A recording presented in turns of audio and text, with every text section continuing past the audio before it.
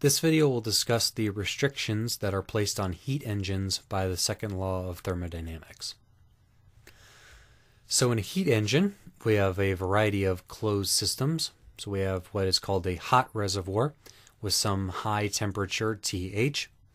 We have the heat engine, which receives heat from the hot reservoir. It then pumps some amount of heat to what's called a cold reservoir at some temperature Tc, the cold temperature, and it uses some of that energy to do work on the external environment. So the key thing here is that the hot temperature is greater than or equal to the cold temperature. And we're going to see how much of this heat that gets pumped into this heat engine from the hot reservoir can be output to the external environment as work, and how much of it has to be heat that is pumped to the cold reservoir, as is restricted by the second law of thermodynamics.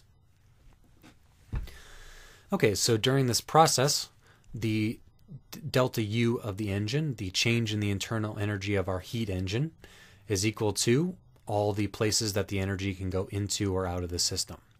So it's equal to QH, the heat that they receive from the hot reservoir, plus QC, the heat that is pumped away to the cold reservoir, plus W, the useful work that's done on the external environment.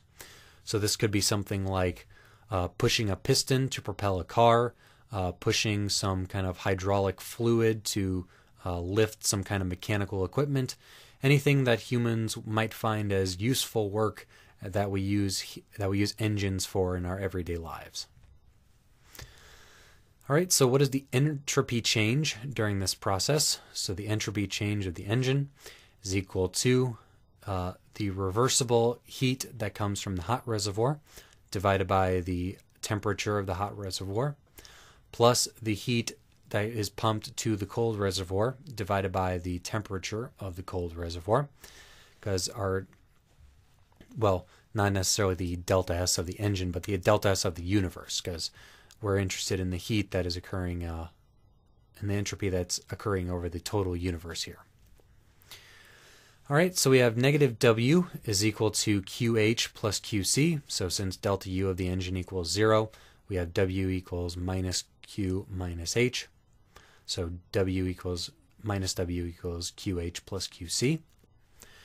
So if the magnitude of W equals the magnitude of QH, then all of the heat that is pumped into the engine from the hot reservoir is going to be output as work to the external environment.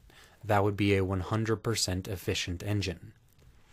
If the magnitude of the work is zero relative to the heat that's pumped in, then that would be a 0% efficient engine.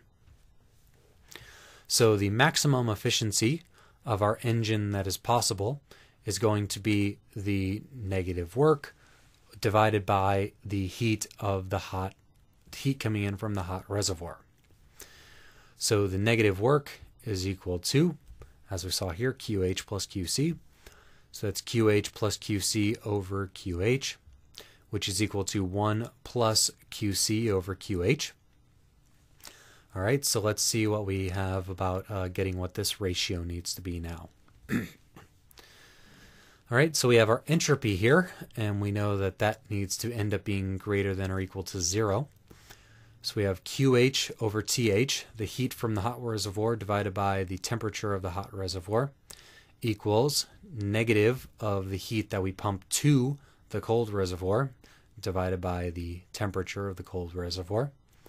So QC over QH is equal to minus TC over TH.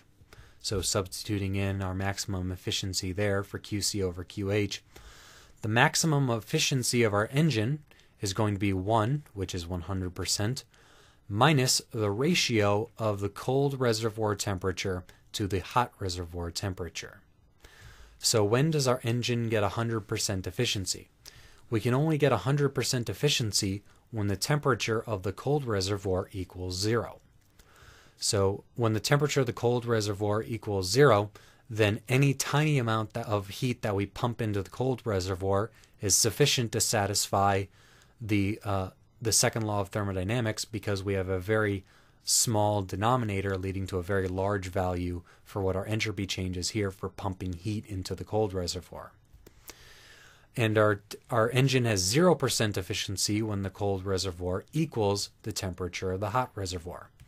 So if there's no difference in temperature between these two, then pumping heat out of the hot reservoir has to be matched by the heat we pump into the cold reservoir to make sure that the entropy change of the universe is positive. So, this is why engines have to operate at some temperature which is typically above the room temperature. For example, the engine of your car might be 100 Kelvin above the temperature of the external atmosphere, giving it a, an efficiency that's in the order of, say, 25 to 30 percent.